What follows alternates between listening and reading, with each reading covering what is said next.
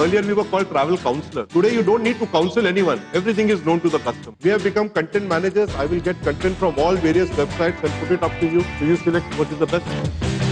What exactly is transparency? It's about being honest, it's about being trustworthy. No one wants to look at tons and tons of reports. They just want something that is relevant, understandable, and truthful. And if you can deliver that, you're transparent.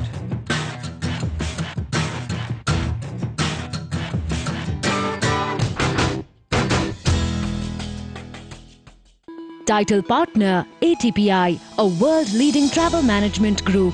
Associate Partner Strategic Partner Business Travel Technology Partner Hospitality Partner